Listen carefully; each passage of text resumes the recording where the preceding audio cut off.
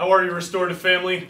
Here with Dr. Mike, Dr. Ash, and we're going to be talking about something that is very pertinent to this time of year in the spring in particular, because this is where we start to see it the most. And it is something called mast cell activation syndrome, or MCAS. And it's something that is not well understood, not looked at typically, and is oftentimes just glossed over. And a lot of this has been getting brought into the limelight more by uh, different groups of docs out there. One in particular, Dr. Lawrence Afrin, is kind of thought of and, and re regarded as one of the leaders in investigating, researching, and treating this sort of a condition. And got a book of his right here called Never Bet Against Occam, and it's that whole principle of Occam's razor that sometimes in very complex cases, the simplest or one piece is what is tying it all together. And so we're going to chat a little bit about what MCAS is, what someone might be experiencing with that, and then we're going to follow up with another video here that you're going to want to check out talking all about what we do to support that person who might be struggling with a suspected MCAS diagnosis. Okay? So Let's go. That's good. Let's I, it. I, I think it's important, and obviously this time of the year when, when we get into spring, welcome to spring, right? Mm-hmm. Um, how many times have people gone to their doctor with a, a little bit of a runny nose, some sneezing, and maybe a, a mild rash, and doctor says, oh, it's just allergies, okay? It's just allergies, go take some Benadryl, go take one of these other medicines that you can buy over the counter, uh, and it may palliate you for a little bit, but it doesn't answer the whole picture because there's a lot more to mast cells than just what's going on up in here. And there's a lot more to triggers for mast cell activation than just pollen out there in, in the atmosphere, etc. So we'll talk a little bit about that as well. So, so what the heck is a mast cell, right? Okay. That's what I was going to ask. Uh, yeah, as I say, you know, it, it's interesting. There are so many amazing units and subunits and cells inside the body. So to, to start that um, walk down medicine and hearing all these things. And right now we've had so many things with, with coronavirus and you know an antigen hitting an antibody and triggering antibody responses down the road. So mast cells are these specialized cells that line the respiratory tract, okay, all the way down into the lungs, not just up in the nose. They also line the gastrointestinal tract from you know the esophagus through the stomach and down into the intestines. You can also find mast cells inside of areas uh, like the, the heart, uh, tissue, muscle tissues, etc. So what are they? they? They are cells that contain a whole bunch of granules inside of them. And these granules, when they get activated, and we'll talk about those in a second, release all kinds of enzymes that can break things down and they also release histamine, okay? So that's why so many times when you go to see your doctor, you know, the only thing in their armamentarium is to go and say, oh, it's just allergies, go take an antihistamine, because you're blocking some of that extra histamine that's being produced when these mast cells degranulate, as is technically the term for it, too. But it's also releasing all these other enzymes that then start to cascade and cause other local inflammatory reactions.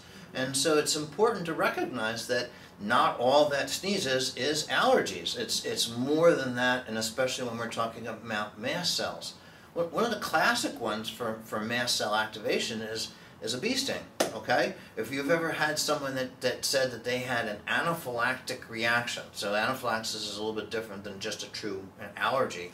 It's basically when somebody gets exposed to that Hymenoptera sting, okay, it causes a local reaction in the muscle, and then it starts to go systemic. So not only do you have the rash that happens and pops up, you start to feel your heart race because your blood pressure is dropping, your tongue swells.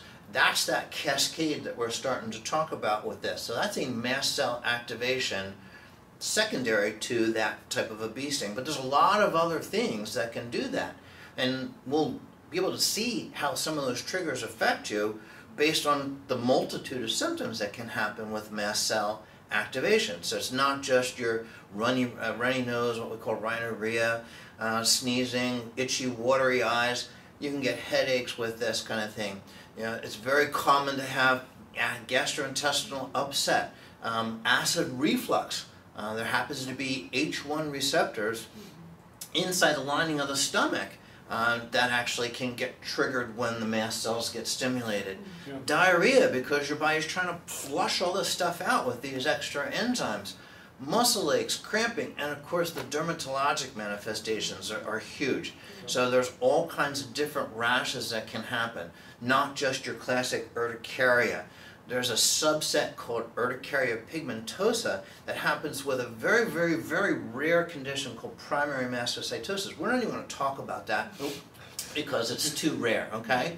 But any of these different types of, of rashes that can pop up then linger. It's one thing to get a, a transient, short, hot flush rash that might be hormonal, although hormones can trigger those too, okay?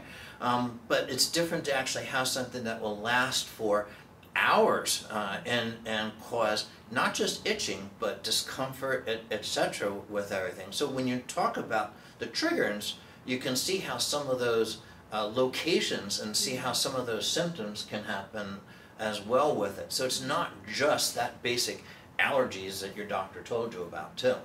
I think it's important to realize too that people with MCAS have oftentimes very complex symptomatology and ongoing chronic issues. Sometimes these are the people that don't feel heard or understand by their doc understood by their doctors. They might feel or have been told it's all in your head. Um, so this may be, if you find yourself in that scenario, this may be sort of the explanation to some of these symptoms that really haven't had an explanation in the past. So, you know, being a woman and somebody who helps a lot of women in, in practice, I also want to mention, you know, the, the symptoms of hormones, um, you know, we see that PCOS and endometriosis can be tied to this chronic mast cell activation syndrome. We also know that there are a lot of mast cells in the central nervous system, so you know a lot of brain-based symptoms, um, anxiety, depression, are can be traced back to this mast cell activation syndrome. So wanted to mention those, you know, again, those are more the chronic symptoms, um, but there's a lot of symptoms that fall into this diagnosis, and when we're going to hash this all out on our blog, if, so if you want like a really clear, concise symptom list that's rooted in the research, please check out our blog post on this. Yeah, so we're going to get on here in another video, like I said, we're going to talk about how do we start to look for this? What do we start to do if we are finding and we're pretty suspicious that this might be the simple unifying thread behind somebody's symptomatology. So make sure you check that video out. Thanks guys. Thanks.